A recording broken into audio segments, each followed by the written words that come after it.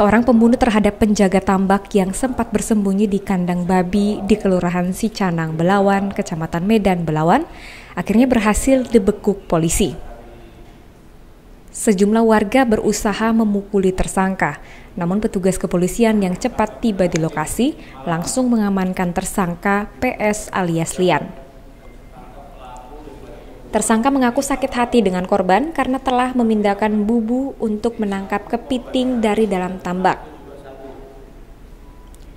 Kapolres Pelabuhan Belawan AKBP Dayan Seraya menambahkan tersangka mengaku memukul bagian leher korban sebanyak tujuh kali, kepala bagian depan serta kepala bagian belakang dua kali.